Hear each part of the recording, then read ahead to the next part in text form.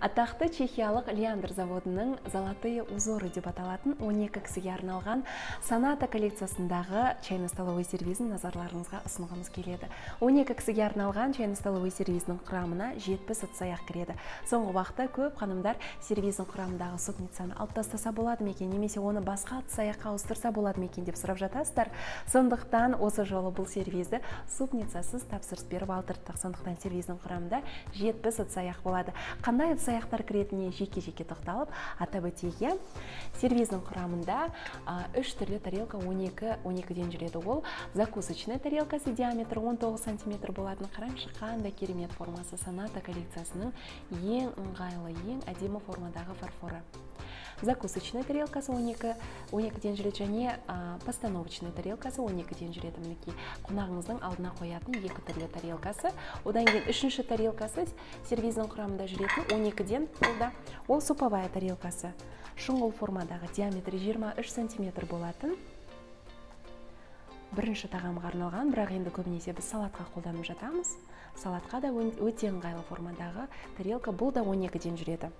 Одан кейін шайға арналған ыдыс аяғы. Бұл жерде сіздің назарларыңызды мынау шыны аяғының формасына аударғым келіп отыр. Қараңызшы қандай керемет! Тура пиала сияқты.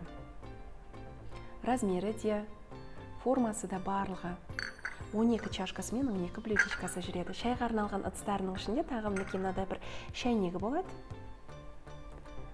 Бір сүтке арналған және қантқа арналған ыдысы болады.